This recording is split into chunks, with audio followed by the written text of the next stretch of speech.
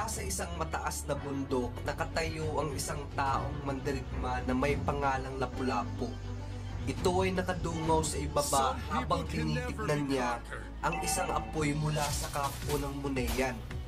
Hindi niya inaakalang makakaapak siyang muli sa panibago na namang digmaan. Para kay Lapu-Lapu, isa ito sa mga pangyayari na kinamumuhian niya ng lubos.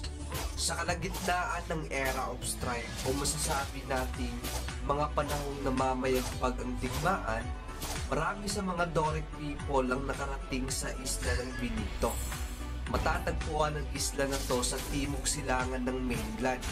At sa lugar na to, ang mga Doric people ay nakagawa ng pag-unlad. Gaya ng isang magulong alon ay parang ganun na lang ang normal na estado ng lugar may tuturing mang isang malungkot na archipelago ang islang ito, ngunit ito ay hindi mapayapa. Gayunpaman, dahil sa naging maunlad ang pamumuhay ng mga Dori, ay unti-unti nilang nakakalimutan ang panatang ginawa nila sa bawat tribo daan-daang taon na ang lumipas bago pa man sila nagkaisa upang labanan at tanggihan ang puwersang hatid ng Monea Navy. Dahil dito, nagkakaroon pa rin ng patuloy na hidwa ang nagaganap sa bawat tribo, malaki man o maliit. Kilala si Lapu-Lapu bilang isang tanyag at magaling na mandirigma sa isla ng Pinito. Ang pagiging mandirigma ang naging pangunahin niyang trabaho at di lang sa sarili niyang tribo niya ito ginagawa, kundi pati na rin sa ibang tribo. Mahabang panahon na niya itong ginagawa at maraming isla na rin ang kanyang napuntahan. Dahil sa walang katapusang laban ng naranasan nila Pulapo, ito ang nagdala sa kanya ng pagod, dignidad, karangalan at pera. Sa bawat larangan ng digmaan, napatunayan niya dito na parang wala ng halaga ang buhay ng isang tao. Napagdaanan man niya ang di mabilang na digmaan pero nakauwi rin naman siya sa kanilang bayang tinubuan at daladala niya ang mga peklat sa kanyang katawan na nagpapakita sa kanyang katapangan. We will fight for our freedom.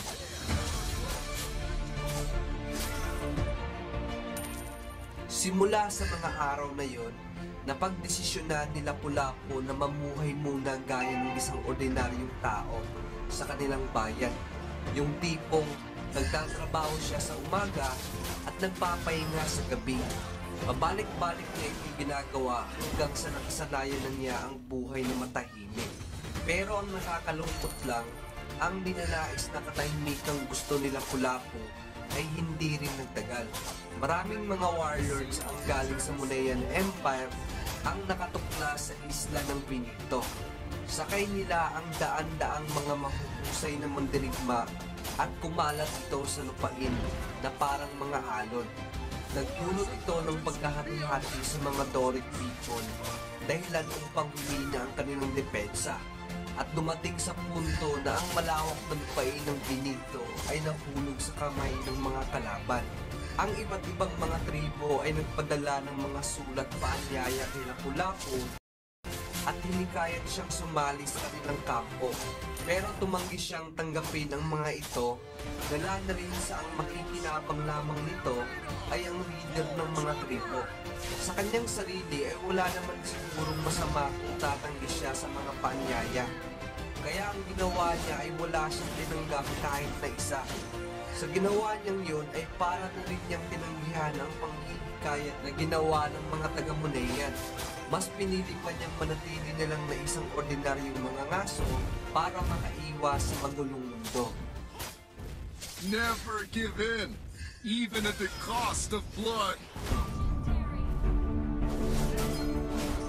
Sila Pulapo at ang Muneyans ay gumawa ng kasunduan upang maiwasan ang kaguluhan at di makatarungang pagsalakay. Gayunpaman, kahit ginawa nila ito, pero sa mata ng mga sakim na taga-Muneyan ay walang pagtutupad sa ganoong kasunduan. At ang lahat ng mayroon sa Benito Island ay para sa kanila.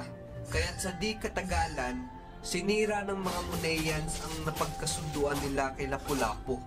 Inatake nila ang tribo na kinabibilangan ni Lapu-Lapu at sinira at pinatay nila ang ilan sa mga katribo niya habang wala siya doon. Ang nakakahiyang pangyayaring yun ang nagdala ng luha sa kanyang asawa at mga anak. Pati na rin ang kanilang pamamahay ay di ito iniwang nakatayo. Bagkus ito'y sinira. Nagdulot ng malaking galit sa puso ni Lapu-Lapu ang sinapit nila sa kamay ng taga-Muneyan. Inakala niyang tutupad ito sa napagkasunduan nila. Wala na siyang hinihingi pang kapalit kundi ang dugo ng mga ito kahit na pagbayaran pa ng mga taga-Muneyan ang ginawa nila sa malinis na paraan. Pero para sa kanya ay di niya ipagpapalit ang kanyang dignidad. Gumawa ng hakbang sila Pulapo para mapagplanuhan niya ang kanyang gagawing paghihigante laban sa Muneyan. Tinipon niya ang mga kabataan sa kanilang tribo para makagawa ng isang grupo. Doon na nga nila sinimulan ang kampanya para sa paghihigante. Malaki ang naging pabor sa panig ni Lapu-Lapu dala na rin sa mga bihasa sila sa lugar kaysa sa mga Muneyan. Alam niya kung paano ang tamang pag-atake, paglaban at ang pagtakas nila papuntang bundok, lalo na sa kagubatan. Nagawa niyang salakayin ang kampo ng taga-Muneyan, pati na rin ang kanilang mga supply. Pagkatapos nilang magawa ito ay iniiwan nila ito na ni isa sa mga bakas ay wala man lang matagpuan ang panig ng mga kalaban. Kaya't nagdulot ito ng malaking pagkalito at pagkagulat sa kampo ng Moneyans. Pero di rin nagtagal ng mahabang panahon ang ginawang ito sa grupo nila Pulapo. Dumating rin sa punto na napag-alaman ng warlord ng Moneyan na siya ang may kagagawa ng lahat ng to. At di na nga nila ito binigyan pa ng pagkakataon. Inulit na naman nila ang kanilang ginawang pagsalakay at isa-isang pinagtataga ang mga kaalyado nila Pulapo. Mas pinalakas pa ng mga Muneyans ang kanilang depensa at nagtago sila sa isang provisyon upang sa pilitan nilang mapalitaw sila Pulapo. Ang dating nayon na kung saan minahal at masayang tinanggap siya ay di na naging gaya noon. Di na makilala ang lugar dahil na rin sa ilalim ng pamumuno ng taga-Muneyans. Nagawa namang masaktan ng lubos sila Pulapo.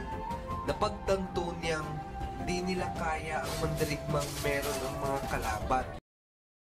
Dahil dito ay wala silang tsansa pang manalo sa panghuling digmaan sa pagitan ng dalawa. Napag-alaman niya na ang grupo ng mga Doric people ay nakalaan upang salupain ang grupo ng Muneyans. At alam niya rin na wala ng tsansa na manaig pa sila sa laban. Sa makatwid ay kailangan niyang maging kasama sa laban ang mga Doric people na may hangaring lumaban kasama ang dalabi niyang mga kasamahan. Doon ay tinuruan at ininsayo niya ang mga ito para maging isang maaasahang mandirigma. Walang pinipili sila pulapo kahit ito'y babae. Basta may puso itong lumaban para sa kanilang lupain. Ang lahi ng mga Doric people ay hindi mga taong masasama na uhaw sa kapangyarihan. Kundi ito ay ang grupo ng mga taong naging rebelde lumaking nakikipaglaban para sa kanilang proteksyon. Lahat sila ay mayroong ganitong panindigan at handa silang ibuhis ang kanilang buhay para lang sa lupain. Kaya't di sila ng dalawang isip na tuparin ang kagustuhan nila Pulapo at makipaglaban kasama niya. Dumaan nga ang ilang sagupaan sa pagitan ng kampo niya at ang kampo ng Muneyan hanggang sa ginawa na nila Pulapo ang kanyang panghuling panlilinlang laban sa kalaban. Ginawa niyang ipasunod ang mga ito sa paanan ng bundok habang ang mga Doric people ay nakatago at naghihintay ng tamang pagkakataon para umatake. Ngayon pa man, hindi rin sinabayan ng mga taga-Muneyan ang ginawang paglilinlang ni Lapu-Lapu dahil alam nilang magaling ito pagdating sa pagkikipaglaban sa kagubatan.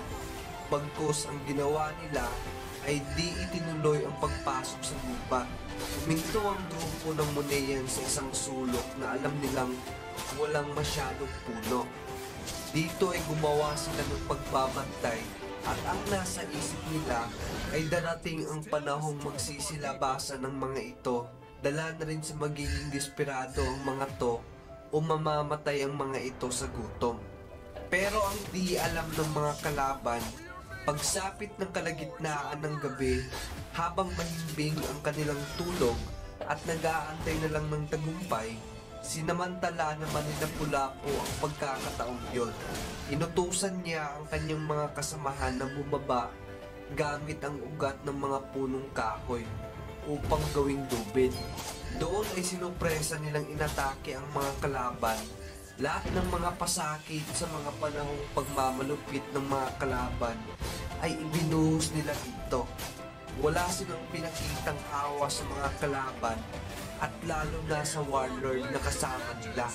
Bago pa man gumawa ng aksyon ang warlord, mabilis na pinutulan ng ulo nila Pulapo ang kanilang pinuno.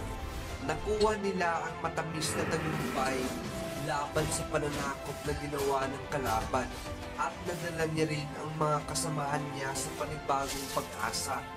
Lahat ng mga nalabing taga-Munean ay mabilis na nakatakas pabalik sa kanilang lugar. At ang lugar ng Pinito Island sa wakas ay bumalik na rin ang mapayapa at matahimik na pamumuhay ng mga tao sa ilalim ng pamamahala ni Lapu-Lapu.